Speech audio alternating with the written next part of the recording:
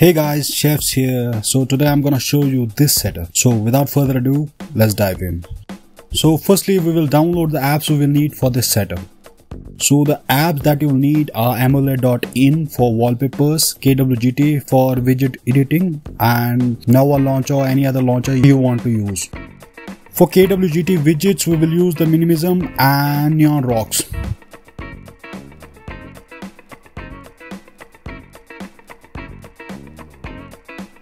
Now for launcher settings.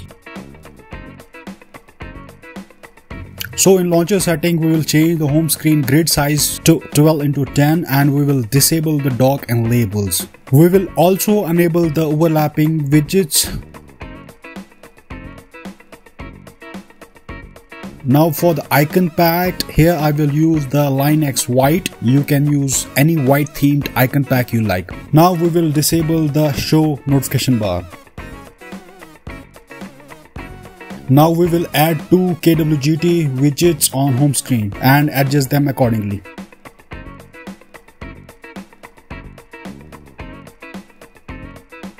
Now we will download the themes. So this step is for Xiaomi device. If you don't have any Xiaomi device, then you can skip this. So the first theme we will download is MIUI 13 Lite for system. And when you apply it, you can see here uh, what the control panel will look like after that.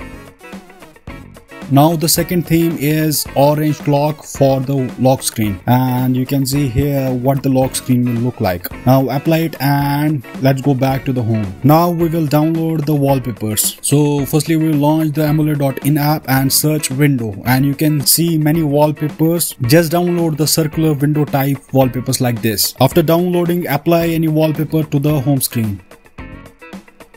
Now we will add the widgets to the home screen. Now click on the blank widget on the home screen and search 165 and select it. Now adjust it accordingly the size, the color. Now save it and adjust it on the home screen.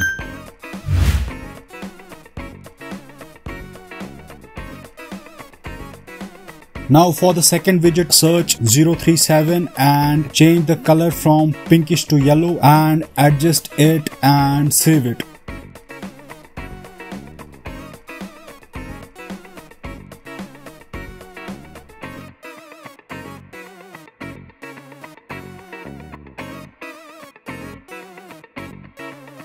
Now go back to your home screen and adjust it again. Now add the apps to the home screen. I will just add according what I need. After adding, now your setup is complete. So this is the lock screen now you can see the lock screen and when you unlock and when you unlock your device you will see these kind of setups. And you can use any wallpaper you want with the circular window in between. And you can see here it just looks clean and nice. So that's all from my end. Hope it was enjoyable. And if it was then do like the video and do subscribe. This is Shafs and i will see you in the next one